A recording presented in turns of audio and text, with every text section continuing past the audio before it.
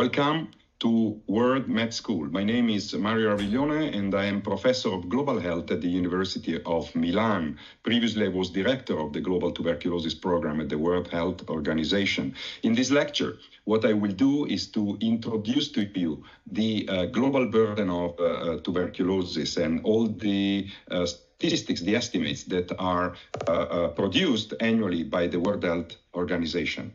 And uh, to begin, just uh, showing to you the data sources. So what are the estimates based on? In the countries in blue, for example, which have notification systems that are reliable, uh, they rely on case notification and expert opinions, and uh, case notification and standard adjustments.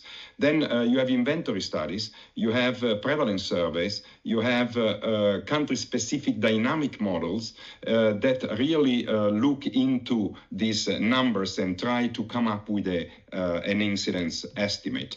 And this is what uh, they give us, essentially, that uh, there, are, there are, or there were in 2022, some 10.6 million cases of tuberculosis, of which some 6.3% uh, uh, linked with HIV, and more than 400,000 multi-drug resistant cases. On the right, you see the estimates for the deaths, which are uh, considered to be 1.3 million back in 2022, with all the other numbers that you can see there, I want to just uh, show you that uh, uh, the last row um, assumes the numbers of people infected latently with tuberculosis that are estimated to be nearly 2 billion because of these numbers, tuberculosis is now considered uh, not anymore in the list of the top 10 causes of death worldwide, uh, thanks to, in fact, a 30% reduction between 2000 and 2019.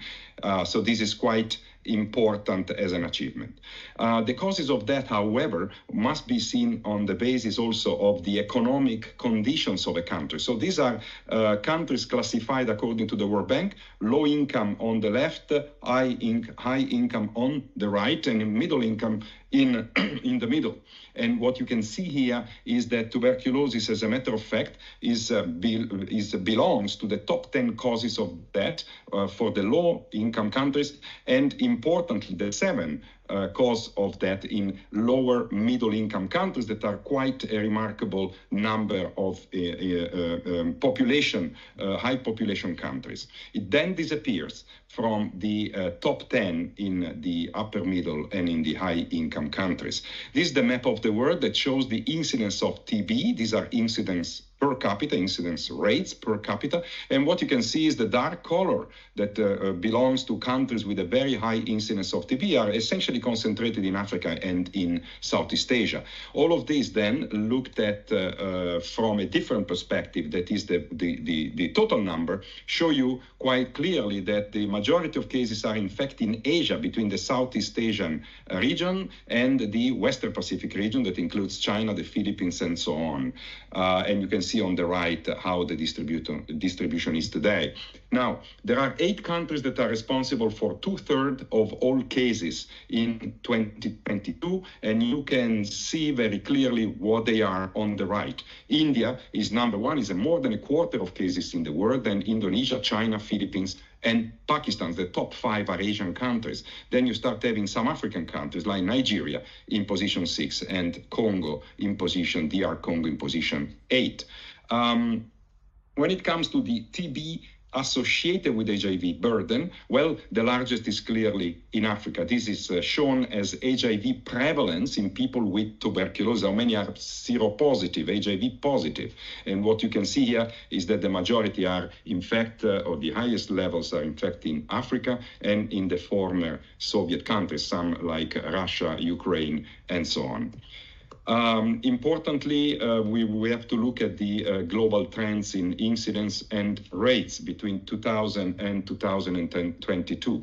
And what you notice here on the left is the million of cases, and on the right, the rates per 100,000. What is important is that there was a decline, slow decline, that goes going between 1 and 1.5% per year, that actually was altered in 2020 when the incidence started increasing. Clearly, the consequence of what you see below the curve of the notifications that dropped dramatically in 2020, linked to COVID and the disruption of services, to started then increasing again later on, which means essentially that there were ca- cases missed from the systems and therefore transmitting to others and dying potentially.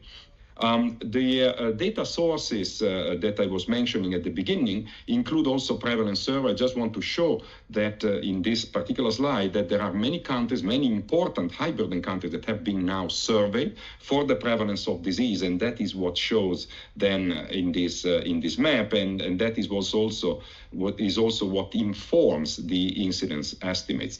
When it comes to the trends in TB notifications, uh, I mentioned already the major impact that COVID COVID-19 had, and you can see that much better in this uh, enlarged uh, portion of the incidence trends over the past uh, several years, and you see what happened. The case notifications were increasing quite uh, significantly before, which is great. That means that national programs were able to um, essentially detect and report cases. But then there was a major drop, something around 18% between 2019 and 2020 caused by COVID, and then a resuming of the curve that you can see here in 21 and 22 that is valid essentially for most of the regions worldwide. You can see on the right the regional graphs. And that corresponds to what WHO now estimates having been a, uh, um, a number of excess deaths that corresponds to about 0.5 million. So it's really something uh, major. The impact that COVID had it was something major in the world of tuberculosis.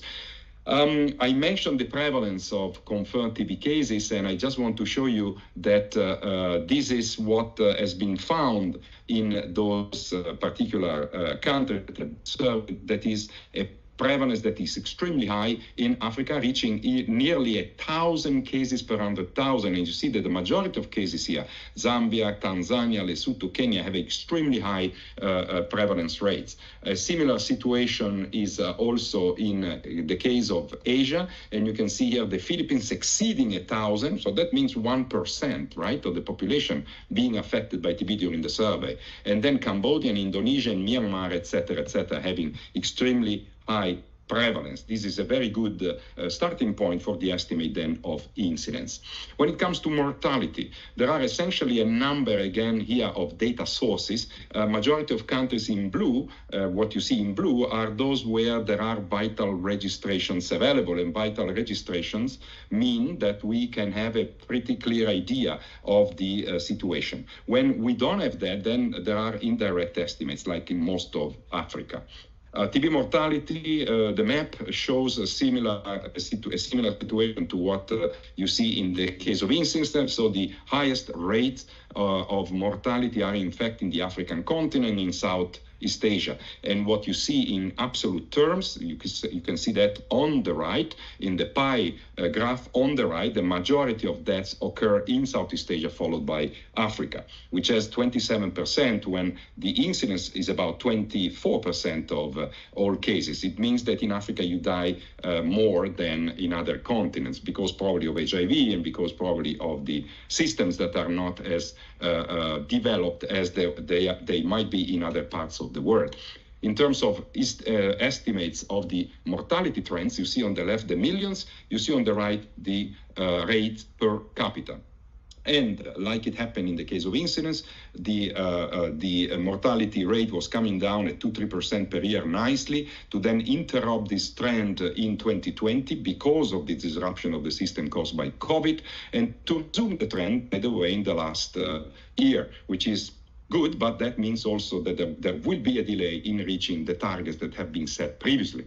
When it comes to multi-drug resistant tuberculosis, this is the uh, number of uh, uh, cases of MDR or rifampicin resistant TB out of all uh, new cases. And what you can see very clearly is that the uh, countries that have the highest percentages worldwide are those illustrated there. Belarus, that may reach 35, 38%, Russia in the range of 35, Moldova 33%, and so on. It means one case out of three in that part of the world can be multi-drug resistant. And when it comes to the absolute numbers, what you can see here of the 410 thousand cases estimated in 2022. The top eight countries are those India, Philippines, Indonesia, China, Pakistan, Myanmar.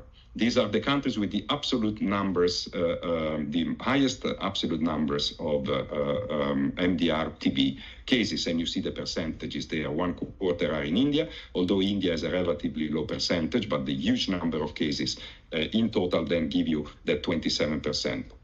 Um, the trends on multi-drug and drug-resistant TB are important to be understood.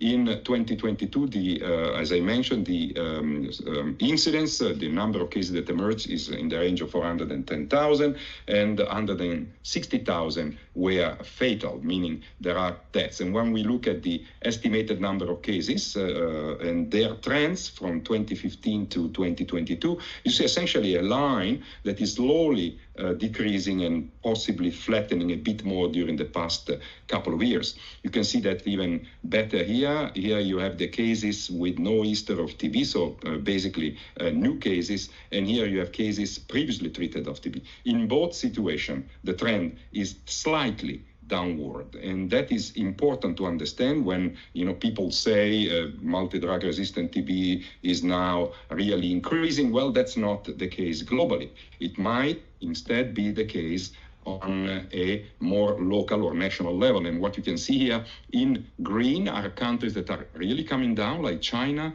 like Nigeria, like Pakistan. If I go there, you see other like uh, Russia and so on that are actually showing a downward trend. There are countries instead in red showing an upward trend, like for example Kyrgyzstan or Kazakhstan or Myanmar or uh, if you like Vietnam and so on. So uh, this is the kind of situation. So let's uh, be precise when we claim that the multi-drug resistant tuberculosis is going is going uh, is increasing is going uh, up, uh, which is not exactly the case globally. It might be nationally. So um, and uh, uh, following that, I just want to mention the situation related to the uh, targets, the international TB target that have been set in a number of different occasions. Well, number one is the End TB strategy 2016-2030 or 2035, depending on what we want to look at.